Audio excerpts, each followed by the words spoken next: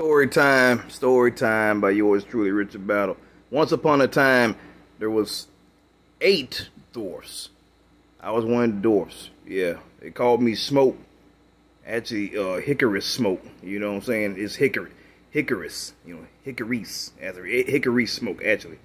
And of course, you know, they always depicted me as this and that, and and you know, I'm the one came with the hi ho, hi ho. It's off the work we go. I'm the one that came up with that with the, you know, but they, they wanted to credit it to somebody else, but it's cool. I mean, hey, I, I did my thing, and um, I don't mean to be rude or nothing like that, but it was me and Sleepy in the room with Snow White, and of course Sleepy he does what he does, and and and I don't know something happened with Snow White where she was thrown up a lot, and and they tried to put me into that, but uh, that's why they canceled me and boot me out of the group.